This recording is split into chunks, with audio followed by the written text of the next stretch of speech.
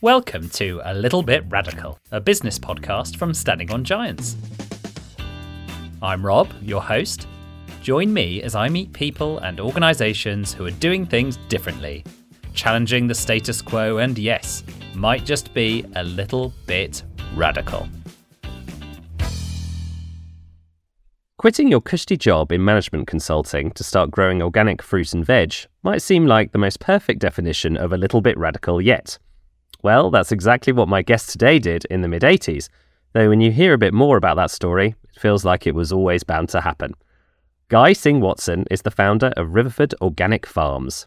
Now, probably the most established name in organic farming in the UK, Riverford continues to innovate and bring little bit radical ideas into being, perhaps most notably in 2018, when Guy sold three quarters of the business to its employees.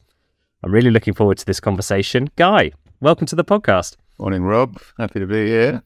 So, we always start with little bit radical you. If you are a little bit radical and you're on this podcast, so we know you are, what do you think in your early life set you up for that? Maybe growing up on a farm, you know, it was a, probably quite an unusual upbringing, perhaps not so unusual then. I mean, from a very early age, I wanted to be a farmer and was stomping around in my Wellington boots and always intensely practical. I mean, I learned how to weld when I was about six, I think. I think I was the only child to go to primary school with arc eye because I hadn't used the goggles properly. And I always loved making things and I think was pretty kind of creative in that way and just loved, you know, being outside and on the farm. Probably my parents were quite influential. I mean, they were quite in their own ways. Were also very creative, though. In they would never have said that. I mean, uh, my dad was uh, an innovative farmer, always wanting to do things in a different way to those around him, and you know, was viewed as being barking mad by all his neighbours. Generally thought he wouldn't last five minutes. Yeah, combination of, I don't know. I think probably some of it's genetic being a bit of a loner, I suppose, and that opportunity to do sort of practical things because I, I, I, that that link between a sort of practical application and creativity and doing things in a different way, I think is probably what leads people to be entrepreneurs. Yeah. What sort of things did your oh what did my father do differently? I mean, my well, he loved keeping pigs. Actually, that was his sort of passion in his life. But he hated keeping them in a way that they were increasingly kept, you know, chained to a wall for three months and then put in a farrowing crate and had three days of freedom before they were chained to the wall again. I mean, it was absolutely brutal. And he was always trying to find a more, I guess you'd say, humane way of keeping his pigs and constantly building new designs of pens and trying to keep them outside in a high rainfall area with high clay in the soil didn't really work. But he, he never gave up trying. So that was one of Radgo's around animal welfare. And uh, he was a very, you know, after the war, he started farming in 1951. Being innovative meant using, you know, lots of agrochemicals and fertilizers. He became progressively disenchanted with that. So I think reading Rachel Carson's Silent Spring made him start question the way he was farming. And he was never an organic farmer, but he was sort of on that road and really started questioning what he, what all his neighbours were doing and the effect that was having on the soil. You know, something that has become very fashionable there, but he was well ahead of his time. So yeah, I, I guess I was uh, brought up in a radical way where there was not much respect for convention, really. Now, I heard a story that's a little bit of a radical birthday present. You got a quite radical birthday present for your eighth birthday, was it? I was given a pig, yes. You know, go and breed with that not with that pig. From that Maybe pig. not that radical on a farm, actually. No, probably not that radical on a farm, but that pig did have 14 piglets twice a year for most of my childhood. And she was called White 14, actually, which is their ear tag number. That's not very imaginative, is it? But, uh, so I did start that sort of entrepreneurial journey, started very early on. Believe it or not, my you know, I sold well rotted manure from the farm gate. That was a good earner, much better than keeping pigs. And I don't know, we picked up apples and sold them to the local cider mill. And, you know, we were encouraged to, as I remember, we didn't have any pocket money. We were encouraged to all have our own little businesses. I'm one of five, you know, from a very early age. And my dad didn't spare us anything. He was on, always on the verge of bankruptcy. And uh, actually, uh, you know, I think to thrust that upon your children at such a young age, I think was a bit inappropriate. We're all actually, despite taking lots of risks, I would also were quite sort of cautious with money, really. You know, growing up with parents who were, as I say, on the verge of bankruptcy, there was no financial security, though we were perfectly well off from the outside. you know, he borrowed money from anyone that he could, and he did finally manage to pay it all back, or most of it back, before he died. he made it in the end, but it was pretty close to the edge a lot of the time. He sounds like my granddad. Yeah.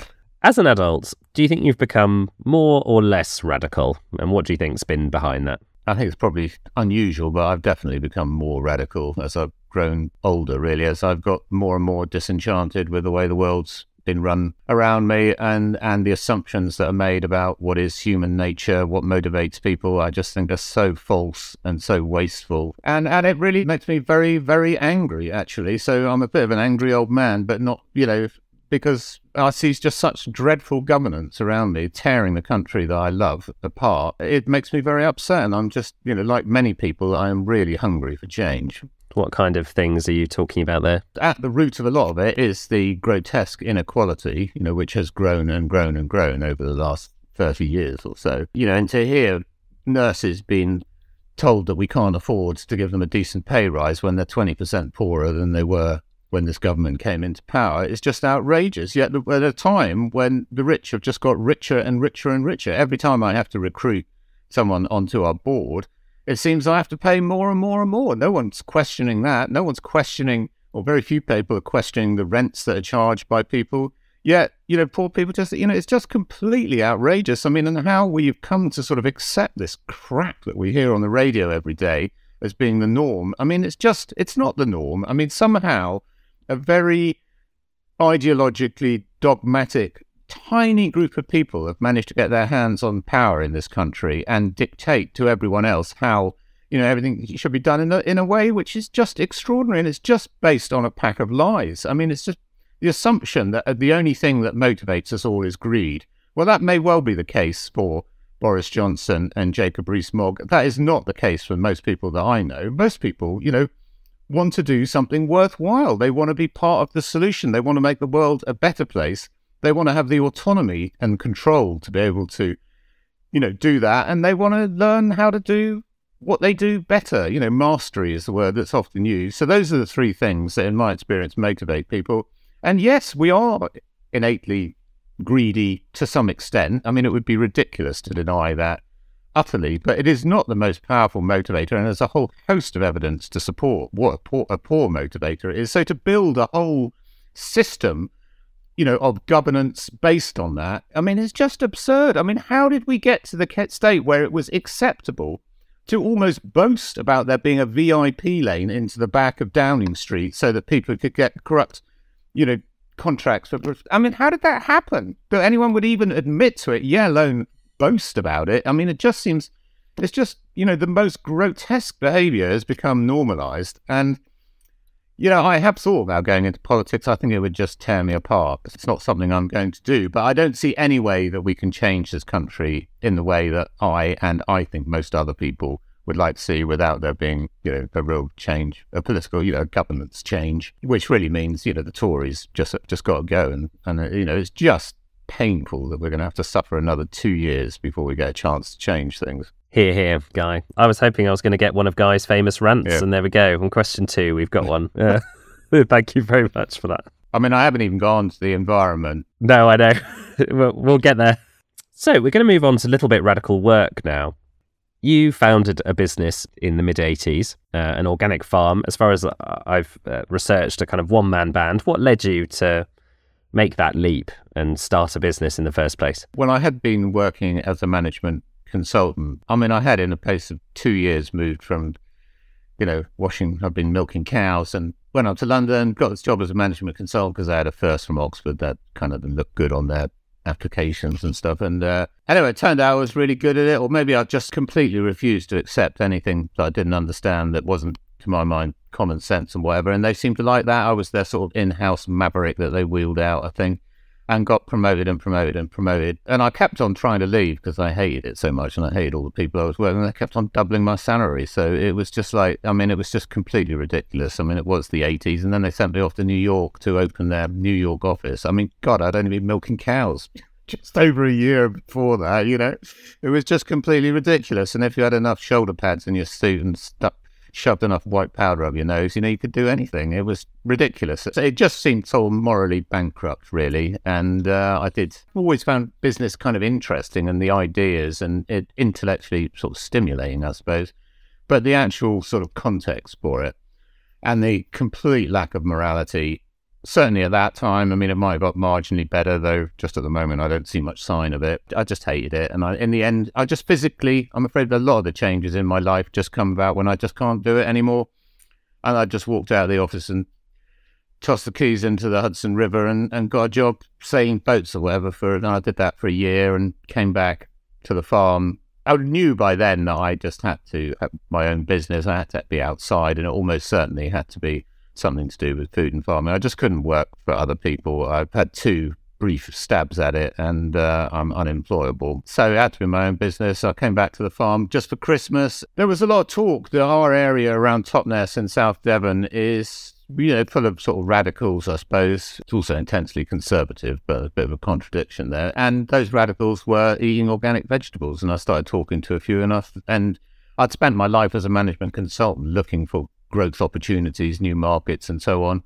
And I guess I just, you know, my ears pricked up. So you can tell from that that I wasn't really particularly philosophically motivated, not in a way that I was conscious of anyway. I do suspect that there was some sort of subconscious guidance there, but it was it was an opportunity to get out in the farm and outside, start my own business with very limited capital because, you know, even though I've been doing an incredibly well paid job, I'd blown most of it. And so, yeah, I just ploughed up the best field on the farm, three acres, and started growing vegetables. Didn't have a clue what I was doing. I mean, my brother had grown a few vegetables while I was growing up. My mother had a garden. So I was learning from I had the Royal Horticultural Society's gardening book. and that was my starting point. And there was at that time, it's hard to believe, pre Margaret Thatcher, but there was ADAS, the Agricultural Development and Advisory Service, where a bloke would come out and give you advice for free. And with that, I started selling organic vegetables to a couple of local whole food shops, but mostly to greengrocers who didn't really care whether it was organic. And it was extremely hard work. Um, you know, I worked absolutely ridiculous hours for the first 10 years or so. But, you know, I made modest profits. I think I turned over £6,000 in the first year and it just grew exponentially from there over 35 years to turning over 100 million, yeah, which was when it became employee owned. The organic bit came from, I think I did have this kind of from management consultancy. It, it seemed like it might be a growth market. People were talking about it. There seemed, and that, you know, I didn't want to sell a commodity. My dad had sold largely milk all his life, and a lorry turned up and took this white stuff away. And, and he definitely was a price taker, not a price maker and I wanted to be in some control. So initially that meant it being organic, and then later we went from selling to local shops to wholesalers to wholesalers in London, and then eventually to selling to Waitrose and Sainsbury's. And actually, Waitrose in those days were great to sell to, but Sainsbury's were absolutely hideous and you know totally bereft of any sort of morality and complete and utter hypocrites. And and I quickly decided that you know this was something that I wanted to avoid at all costs. So by 2001, well, we started selling veg boxes in 93 and that grew quite well. And by 2001, we, I was able to, um, yeah, show Sainsbury's the finger actually, which was very enjoyable. when they told me that having agreed to pay me 16p a head for a little gem lettuce, they told me three weeks into the season that they were going to pay me 6p. And I said, oh, well, that's, uh, yeah, no, that's not what you agreed wow. to, is it? And I said, um, so I wonder what the Times are going to think about that. And I did get some journalists involved, and they agreed to pay me the 16p. But clearly, that was the last season I was going to sell to Sainsbury's. From then on, we've concentrated on the um, veg box scheme. So, I mean, that was obviously totally immoral what they were doing. It was an abuse of their market power. And the guy who actually was responsible for that, I met him later, actually. He got a job somewhere else and he denied that he ever did that, but he certainly did. And he was the nicest, cuddliest, sort of blow. You just couldn't imagine him being such a brute. I took that as testimony to how you know organizations can corrupt human behavior that you know put in a different environment. He thought that behavior was acceptable. Well actually he was a really nice bloke. I mean he was a little teddy bear you know. There's some really appalling behavior can become normalized in a you know if the culture is you know one where everyone else is doing the same sort of thing. And possibly you know that's what you get rewarded on which of course is a supermarket buyer they just get rewarded on how many pence per foot of shelf space they can generate in a week. It's really interesting. And I'd love to talk to you more about creating the right sort of culture. Oh. Um, but first, I wanted to come back to the veg boxes. So in 1993, when you were delivering veg boxes, you were doing what now and over the last maybe five or 10 years has perhaps been the trendiest area of business strategy, which is direct to consumer and subscriptions. And it sounds like you were doing that before it was a thing. What led you to start selling in yeah. that way and building your business in that way? And how have you seen that whole model evolve over that time? Well, in 1993, to deliver this box of vegetables, which had about, I don't know, 10 or a dozen different vegetables in it, which I had decided which ones, and I had decided the price. The buyer had no power. You know, that was, you know, Maggie Thatcher was in power, and consumer, if you had the money, you had the power. You know, those were the rules of the game. So this was completely flying against all trends supermarkets were building hyper stores out of town. You know, the number of SKUs in each store had gone from 20 to 30 to 40,000 users. It's all about choice and consumer power, I suppose. And indeed, home delivery of everything was going, you know, milk was going down pretty radically. You used to be able to, when my mother was, you know, you would have your, your fish and your bread and your milk delivered to the door you know, all that was going, everyone was going. So it was in every way, it flew against the trend. So, you know, you would think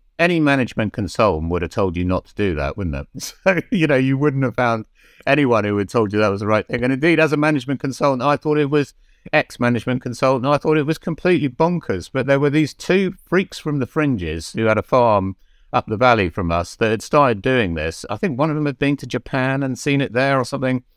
And they'd been doing it a few years and they said, Guy, this is great. You know, we got more customers than we want. You know, you're getting screwed by the supermarkets. Why don't you give it a go? And I said, Oh, come on, you're just you're just bonkers. You're a bunch of hippies. It's never gonna work. And every time I saw them, they said, Come on, you should give this a go. And in the end they said, Come on, why don't you take some of our customers? Because we can't keep up with demand.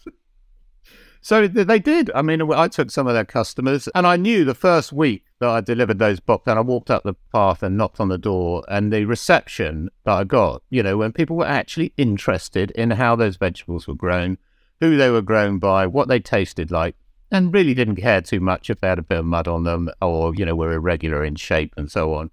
And I just thought, my God, this is so different to dealing with a supermarket buyer. And, you know, within I think even the first day, I think I knew I was onto something, and I think there's a very good lesson to anyone starting a new business is is get out there and try and sell something at an early stage, and it's not until you actually have to take the notes, well, credit card these days, out of someone's hand that you really know well how that person values it or not. You can do as much market research as you like, uh, and it'll tell you something, but it won't tell you the whole story. Yeah, none of my team really wanted to do it. It was a complication by that time my farm manager John, he used to love bringing in you know big trailer loads of stuff, and he would be singing away as he brought in a trailer load of cabbages or potatoes. Now we're a farming guy, you know, who had finally broken out of this niche of being market gardeners, and they just wanted to do more and more of the same, which I have to say I found a bit boring. I I am very easily bored.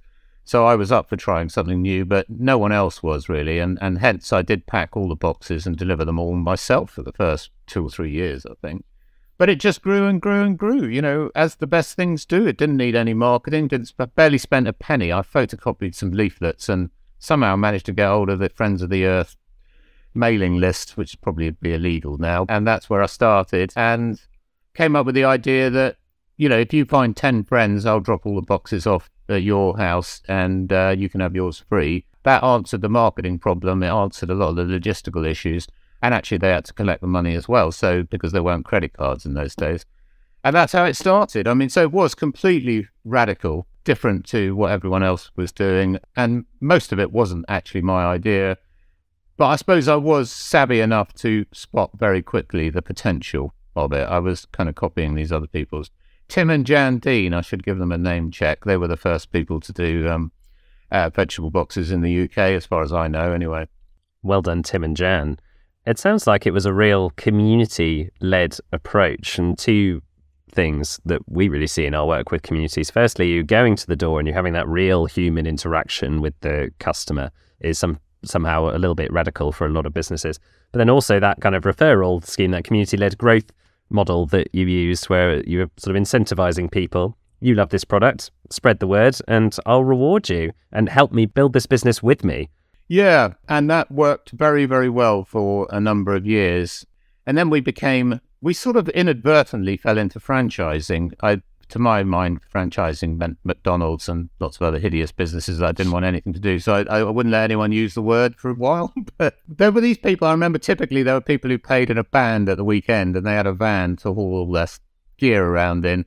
And I remember a couple of them saying, "Come on, guy, uh, let me. I'll go and sell a few vegetables around my village or town or whatever, and you know, take a margin." And so we started doing that, and then, but they were, and I think we ended up with about ten of them, and then I ended up saying, "Well, you're all driving all over the place. Why don't you agree to have a geographical area? And wouldn't it be great if you didn't fuck around with the boxes and put non-organic stuff in? So, and uh, basically you looked after my brand, I suppose, and you had a geographical area. And wouldn't it be good if we all charged the same and had some of the same systems? So you had a business system, a brand, and a geographical area, and that is franchising. So uh, without knowing it, actually, we took someone else, a guy called Martin, who worked for me. He went off to a conference one day and he said, you know, there's a name for what you're doing, guys, called franchising and I still wouldn't let them use the word. But anyway, after a few years, we did, and that's how we grew the sales through until quite recently when we started buying the franchises back. I only tell that story because as we became more professional and structured, and people had specializations in their roles and whatever.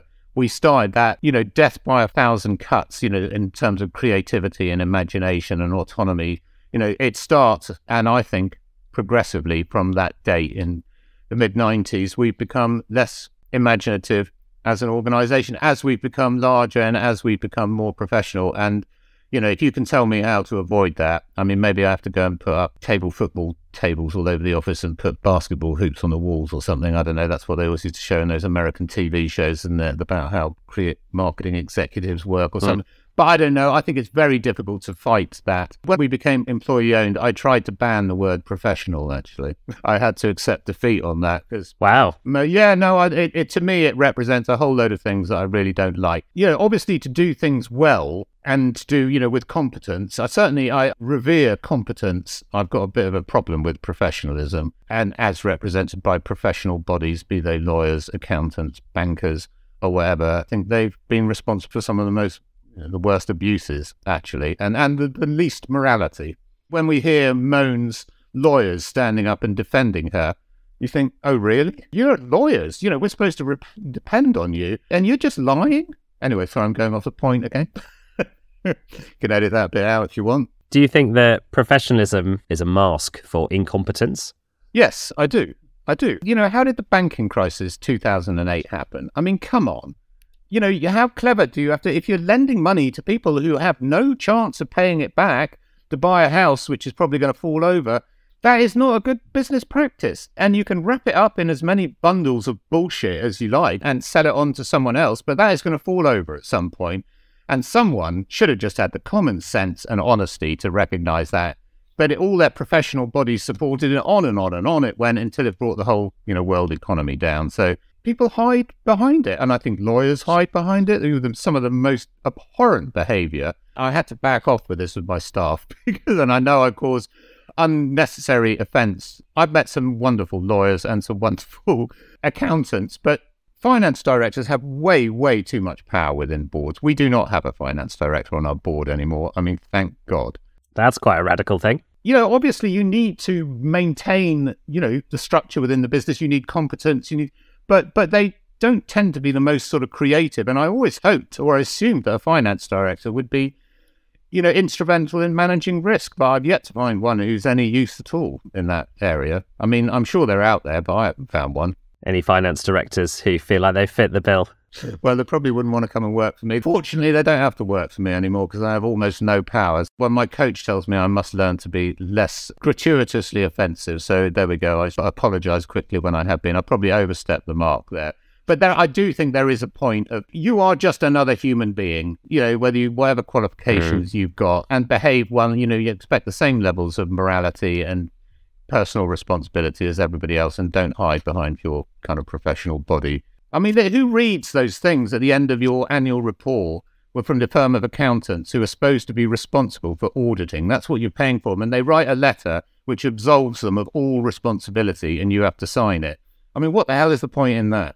It's a bit of a lack of accountability there. Just picking up on what you said, we're both B Corps. Riverford is a is a B Corp. Standing on Giants is a B Corp, and it feels like what's behind that frustration that you've just had is pervasive in wider business, which is just the over focusing on the profit P of the three Ps and not the people and planet P. Would that be fair? Well, yes, absolutely. I mean, I mean, let's be honest about it. If you're not a B Corp and you're, you know, you're incorporated, you are legally obliged to run your business more or less solely for the benefit of your shareholders. I mean, that's the law, certainly expectation of shareholders. So let's not expect oil companies to be, you know, to have any morality. Or let's not expect supermarkets to have any morality. They don't give a monkeys about us. You know, they don't give a monkeys about the planet. And let's be honest about it. And let's expect them to behave like that. Let's not expect industries to self regulate. I mean, you've cut out the bullshit. I mean, let's be honest about what capitalism is. And then we might have a better chance of regulating. Clearly, it needs regulating. Some people have found this very frustrating. It's not what they want to spend their lives doing. They don't want to have to apologize to their children and grandchildren for destroying their future. And I think out of that sort of came the B Corp movement, which I kind of resisted for quite a while. There's another American import, and um, the first meeting I went to, I found very alienated by. But I think it's absolutely brilliant. I never expected the process of certification to be so. You know, it's very difficult if you're trying to certify someone for so many different angles and that sort of balanced scorecard approach. I think it's very difficult to do that effectively. But I think B Corp do it fantastically well, and I think they they are really bringing about some pretty substantial changes. And uh, yeah, I do think it's a fantastic movement. And as a part of that, you know, you do have to change your articles of association such that you don't exist purely to generate profit. It is for the three Ps, as you've just said, Rob. So yeah, no, I'm a big fan. I heard you say in an interview that perhaps the most radical thing about Riverford is we don't believe the customer is always right.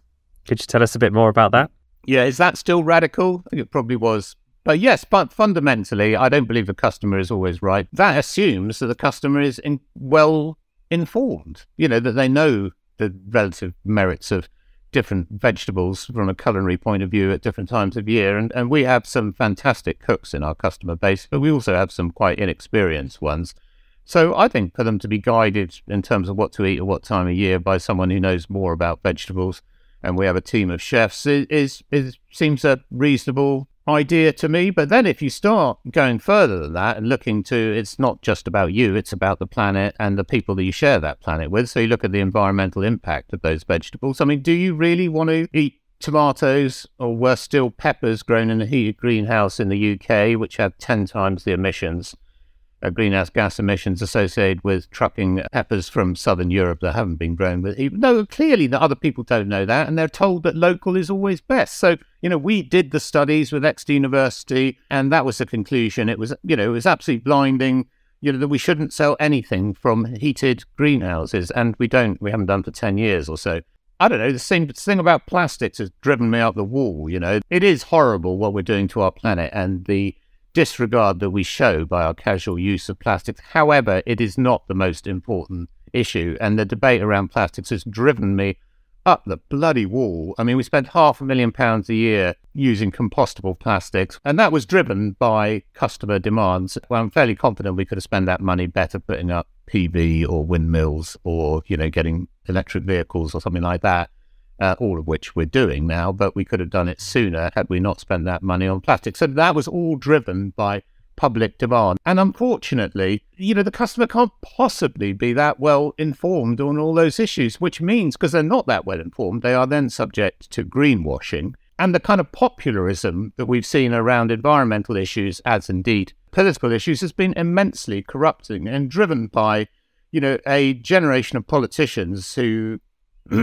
some politicians, in particular Boris Johnson, who have been, you know, bereft of any uh, any sort of personal morality, and I think we've seen a similar thing in business and really cynical uh, use of, of greenwash, and it does so. I think customers, you know, they are prepared to be led, uh, provided that they trust the person who leads them, and I think at Riverford we have established a quite extraordinary level of trust quite often by doing unpopular things. So I'll go back to the example of not buying UK peppers in the winter. That was really quite unpopular because at the time everyone was saying UK is best. You know, Tim Lang was going on about food miles yeah, so every, you know, it was better to be local. So it was quite brave of us to actually say, no, it's not. But I think by doing that and by doing it again and again, by not declaring a climate emergency immediately when everyone else did and say we're going to be net zero by blah, blah, blah, we took about two years and we didn't say we were going to be net zero until we had a pretty good idea about how we could be net zero and we really understanding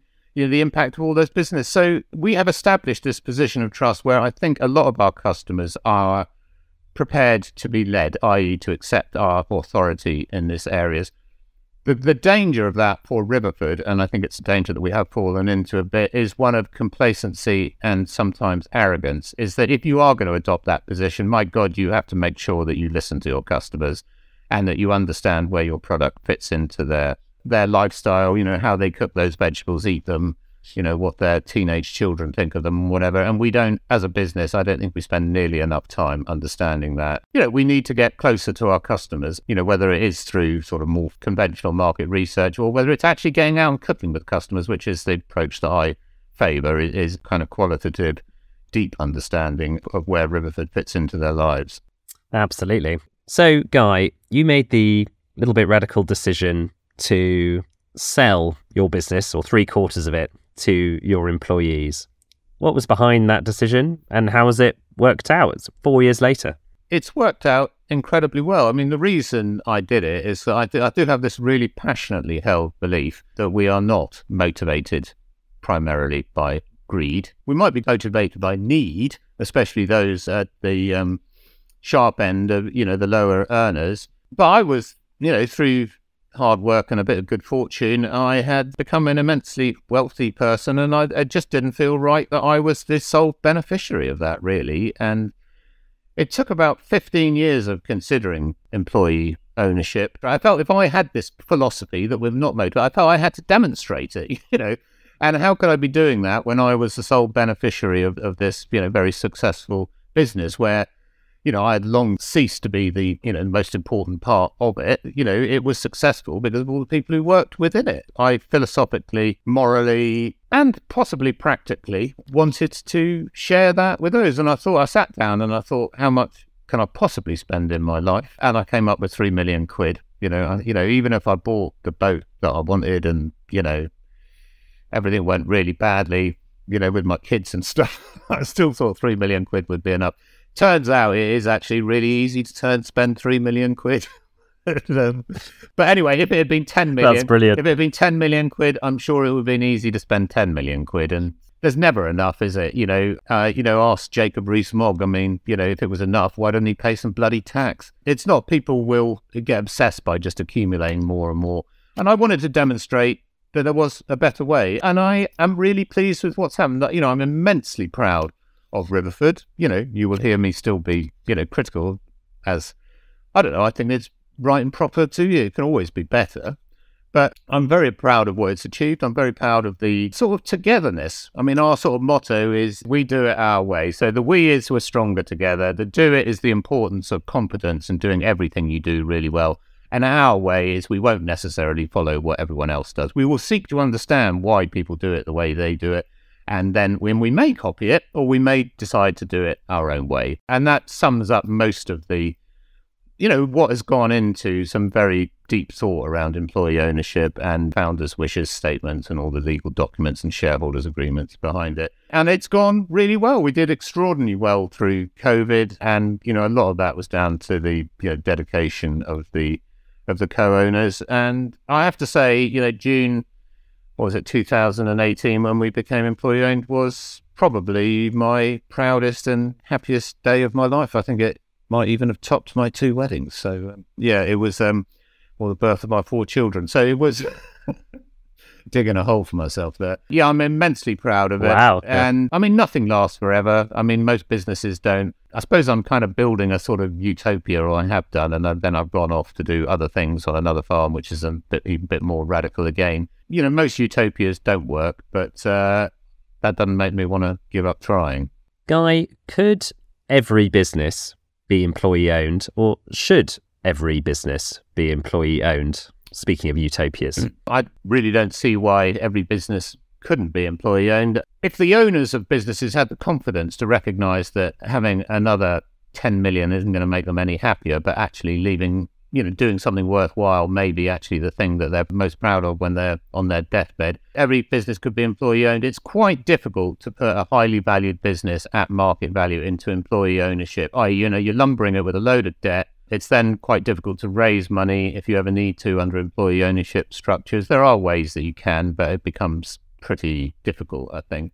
I don't see why not. There's an organization called Mondragon in northern Spain where this is happening on a very, very large scale. I think they've got something like 10,000 employees across, you know, hundreds of businesses now, and it has been immensely uh, successful. So there is a model of, you know, showing how it can work, uh, running in fairly conventional industries. Yeah, so I see no reason why not. I mean, so long as you have well regulated capitalism, I don't really have a problem with it. I don't have a problem in, with people making a decent profit for making something which is of genuine value. I do have a problem. Well, let's use Mone as an example, you know, who up, upheld as being, you know, an entrepreneur for just sort of seeing opportunities to make money rather than seeing opportunities to generate value. A genuine entrepreneur sees an opportunity to generate value and then works out a way to make money out of it. These bastards who just destroying our country with their greed and you know, grasping opportunities, often you know using political power and corruption to do so, and and the growth of the sort of rentier economy, which now accounts for I think over fifty percent of GDP. You know, when I was started business, it was thirty percent. I think I'm right in saying no, I've got that wrong. My economy, yes, sorry, it was thirty percent. That's about right, and wages accounted for seventy percent you know, that somehow that has to stop. You just can't, you know, leave more and more accumulation of GDP and capital value in the hands of fewer and fewer people. We need to find a better way of, and it's incredibly difficult to find a model, you know, which short of a revolution, which I'm not advocating, incidentally, despite some of my radical views, you know, it's very difficult to stop that happening. But somehow we do need to find a way. This might be the answer to um, our final questions. We always finish with Little Bit Radical World. So we want to lift you out of your day to day, your world on the farm, and look to the outside world. if you had a magic wand and you could wave it and you could make a change in the world that's a little bit radical, what would that be? I would like to see those with wealth and power and influence, those you know, those people who can actually make choices, whose day to day lives are dictated by need. I'd like to see them step up and accept responsibility in a collective role, world rather than just accumulating more and more personal wealth. And you know, I really hope that they can do that in a positive way, you know, using their wealth and influence, because if they don't, I think this country is heading in a very, very dark direction. And, you know, I think we can see it you know what's happened over the last six months. And it really is time for people to say enough's enough. You know and those are the people who have the power at the moment. I mean hopefully over the next after the next election it will be a little bit different. But they really need to step up and do a hell of a lot better. You know, we see organizations such as the dreadfully named patriotic millionaires which is um you know dreadful name. You know we need to reclaim patriotism to be the values that my parents stood for, who incidentally both fought in the Second World War. Bit funny to hear Boris Johnson trying to emulate Churchill, where he stands for the absolute opposite of what most people fought in the Second World War for. We need to reclaim that patriotism, that collectivism that brought about the birth of the National Health Service and the welfare state. We need to understand that we're in it together. And I think that depends so much on the personal behavior and example of the wealthy and powerful who have been an immense disappointment to me over the last 10 or 20 years. And I think it's time we saw them step up. I love that. I'm signed up to your campaign, Guy. Thank you for that. I think that's fantastic. We've come to the end of our conversation now. We always end getting your advice to anyone listening who has a little bit of a radical idea for a business or for their personal life. What advice would you give that person to take the next step? Well, my advice to people starting new businesses to get out there and do something quickly and on a small scale, which will probably initially fail, but you'll learn a lot from that failure and you'll learn a hell of a lot from actually trying to sell something to someone and understanding whether the product that you have is, you know, relevant and suitable to their life situation. I do understand that the world has moved on a lot since I sowed my first leeks back in 1987, and that it's perhaps harder for someone starting a you know tech company where you need a certain critical size. But as a general rule of thumb, you know, get out there and do something on a small scale rather than working up the ultimate sort of business plan and pursuing huge investment. Yes, if you want to be big, you're going to probably have to do that later on, but get out there and do something and sell something early on if it is at all possible. Great. Guy, thank you so much for appearing on our podcast today. It's been a real privilege to talk to you. And I hope lots of our listeners, if they're not Riverford customers already, will be signing up. and uh, yeah, I've thoroughly enjoyed it. So thanks, Rob. Look forward to speaking to you again soon. Thank you for listening to this podcast. If you enjoyed it, please follow us on your podcast platform. If you'd like to appear on A Little Bit Radical or have an idea of someone we should speak to, please email podcast at standingongiants.com or get in touch with me on LinkedIn. You can search Rob Fawkes or search Standing on Giants and you'll find me there. Thank you very much and speak to you next time.